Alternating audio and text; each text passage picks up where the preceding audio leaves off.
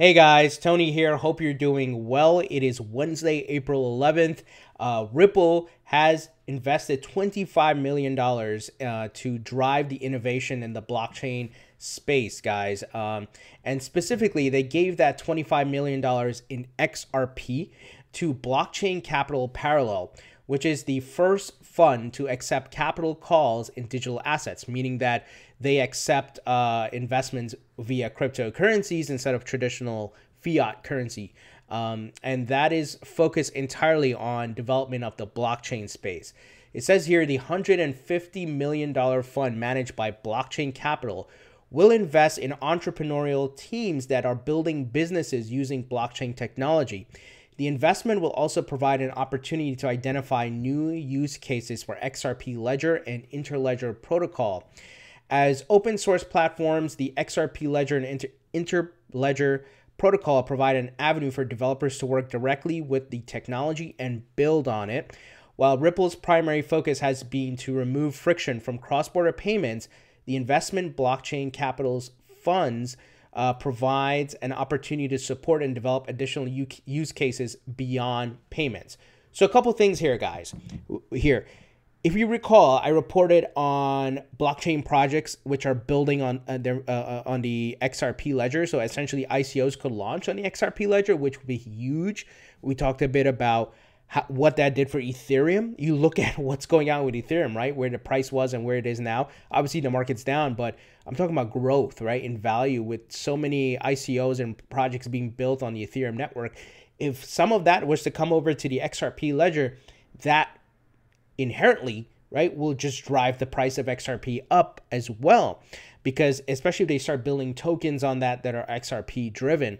Um, the other, if you guys recall, Ripple is looking to fund businesses and startups and power them with the uh, XRP ledger, right? So where they can leverage XRP. If you recall my interview with Omni, this the CEO and founder of Omni, where that guy Thomas McLeod got uh, like twenty five million dollars in funding, and some of that was XRP, some of that was cash, and they are looking at using the XRP token within the ecosystem that they're running because they are a storage service where um, it's like the Airbnb of storage. So if I have like a a more a bicycle that I want to rent out, I can do that uh, in the ecosystem, and of course people can pay me, and if they can use XRP within the ecosystem to do that, that inc- increases the use case, the vol- you know the volume uh, uh, on on the XRP ledger and so forth you guys get the idea about that.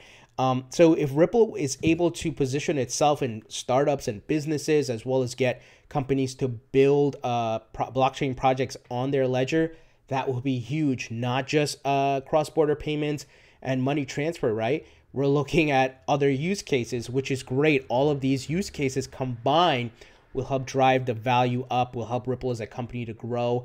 And as you can see here, we're talking about the XRP ledger here, right? We're not talking about um, uh, xCurrent or anything like that, uh, things along that line. So I think this is a great move. Um, Ripple is positioning itself um, where it can uh, start putting out its tentacles, right? Reaching in different areas, different verticals, and get partnerships, get get uh, folks on board with, with them. So I think this is a huge, a very smart move. Um, and it's just $25 million in XRP is nothing for them. Um, as you guys know, they own 60% of it. Uh, so the right moves are being made. So this is great news. Uh, I, I, know it's not one of those things where um, it's it's it's uh, not a partnership, so to speak, in a sense of uh, you know a bank using XRP or something like that. But it's the move in the right direction to get those uh, potential use use cases, right? Investing in startups, getting more people to build on on the XRP uh, ledger. So definitely a smart move. This is why I, you know, I'm always complimenting the Ripple team. They are steps ahead of many of these other cryptocurrency projects. Uh, real working problem, uh, real working um, product, and solving real world problems. So definitely a big move here, and I think will reap a lot of you know benefits for Ripple in the long run.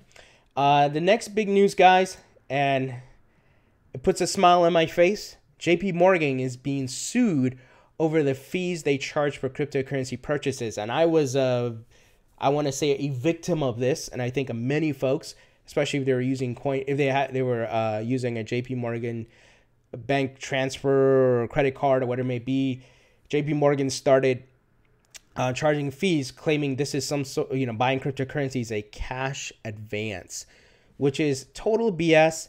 Um, so just to give you guys some details here, JP Morgan Chase Co. has been hit with a lawsuit in Manhattan federal court accusing it of charging surprise fees, which they totally did, when it stopped letting customers buy cryptocurrency with credit cards in late January and began treating the purchases as cash advances. Um, so I misspoke there. It's specifically with credit cards.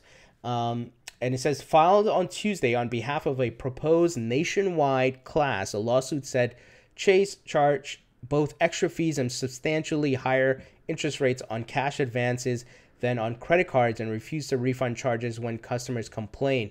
So I like that this is happening because um, these guys, you know, a lot of them have been really being unfair. Um, and we know that, you know, Jamie Dimon, the head of uh, JP Morgan, came out and said negative things about Bitcoin and crypto and backtrack a bit, bit on that. But a lot of these banks have been just manipulating things and charging people fees for buying crypto. Um, and it's which is really you know annoying uh, without giving heads up or anything like that. So I, I'm happy this is happening and it puts them in check because they do a lot of these banks, even Wells Fargo and so forth. You know, creating a fake checking accounts from people. They do a lot of crap. So it's it's good that they are getting checked on this. Um, and and I hope they they have to pay out millions or whatever it is back to consumers who they unfairly charge those fees. So I wanted to highlight that if you guys maybe you had a you know JP Morgan Chase um, uh, credit card or whatever it may be and you got charged some some fees here you have potentially could be join this lawsuit you know from a crowdsource standpoint and, and maybe get some sort of settlement definitely check it out. I'm gonna I'm gonna read up on it. I'll, I'll give you guys updates, you know, based on what I find. But um, this puts a smile on my face. So there you have it. I think uh, some important news today. So obviously, I think the Ripple news is big um, because I see the potential here and what they're trying to achieve. And obviously, with JP Morgan uh, getting sued. So, what do you guys think about the Ripple news as well as the JP Morgan news? Leave your comments in the comment section below. Thumbs up if you like this video and please subscribe for more videos on Ripple and other cryptocurrencies. Talk to you guys later.